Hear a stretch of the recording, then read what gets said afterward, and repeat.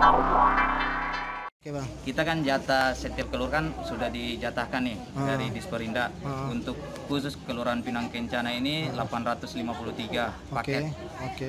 Jadi setelah itu kami sudah membagikan biar tidak bertumpuk di kelurahan kita bagikan per RT dan per RW. Hmm. Jadi jatah RT dan jatah RW Hmm. biar tidak bertumpuk di kantor. Oke. Namun kenapa sampai terjadi bertumpuk di kantor ini? Ini disebabkan karena informasi sudah duluan di Hmm. media sosial dari dinas terkait. Oke. Kita tak tahu nih dari dinas terkait. Informasinya ini maksudnya informasi apa? Informasi secara umum nih. Oke. Ada pembeli ada pembelian sembako murah di setiap kelurahan Hmm. dengan harga 60.000 dengan harga eh, keseluruhan 120 Tiga ribu. 23.000, Hmm. subsidi 63.000. Mulai buka tanggal 4 mulai dari jam 9 pagi hingga jam 14.30 Oke. di kelurahan masing-masing. Hmm. Ini sudah informasi ini sudah beredar sebelum kami eh, menginformasikan melalui RT. Oke. Jadi masyarakat Kota Tanjung Pinang udah tahu duluan daripada RT Hmm. informasi ini. Jadi setelah kami dikasihkan jatah, kami sudah setting biar tidak bertumpuk di sini. Settingan kami nanti RT yang datang ambil. Jadi warga nanti RT yang bagikan ke setiap warga. Hmm. 10 orang satu RT, 5 orang untuk RW. Oke. Itu jatahnya kita bagi biar tidak karena ini terbatas ya. Iya. Kalau banyak tak jadi masalah karena itu terbatas. Kalau total jadi- RT sini ada berapa? ya. Total kita RT dan RW. RT 6, 64, RW 11, jadi 75. Oh, itulah makanya dibagi. Ah, Kalau RW kita bagi. 5, RT RT itu 10, Hmm. RW-nya 5 Oh, itu total untuk mencukupi total untuk mencukupi. jatah di sini Ah, ya. Jatah di sini. Oh, gitu. Dan ini sendiri memang sistemnya memang didata langsung RT RW atau pakai kupon sebenarnya itu? sebenarnya kita pakai sistem pendataan RT. Ah, Jadi ada macam-macam. Nanti RT yang datang ke sini, hmm, dia ah, ini Pak, nama 10 orang kami. hmm, Nanti ditinggal ambil, dia tinggal bagikan di lapangan biar tidak bertumpuk harga di sini. Itu yang pertama. Kita mengantisipasi jangan bertumpuk harga. Itu yang pertama kita antisipasi itu. Oke. Kemudian yang kedua, ada RT di sini Pak, saya bawa warga, ini warga saya, ah, ambil. Jadi teratur gitu, teratur.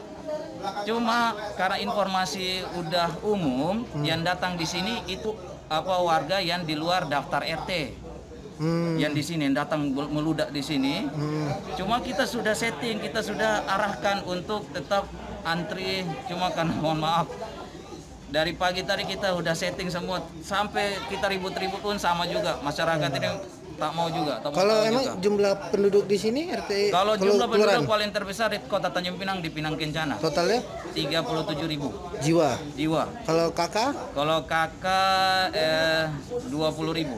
oh jauh dari ja- target jatah ya, Wei. banyak Oh. kita.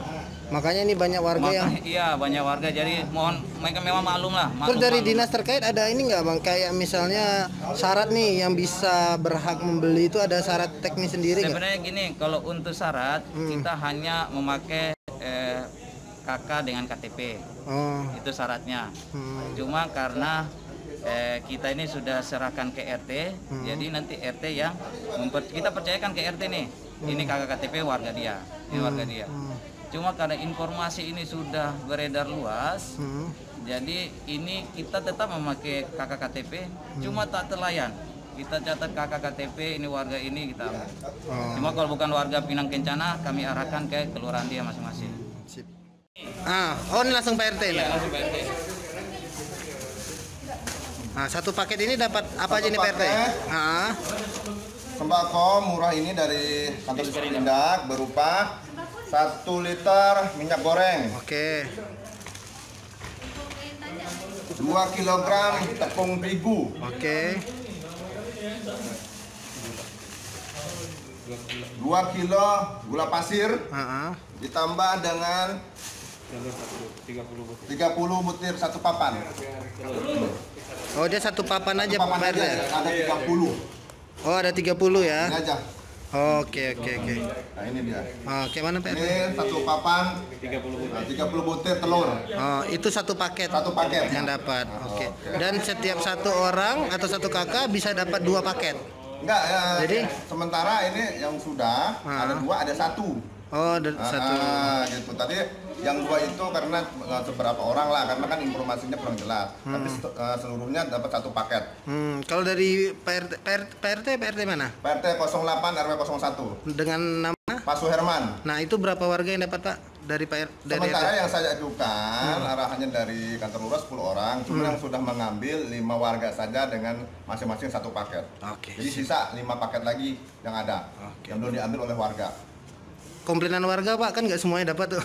Ya kalau masalah komplainan warga dimaklumin saja, ya kan.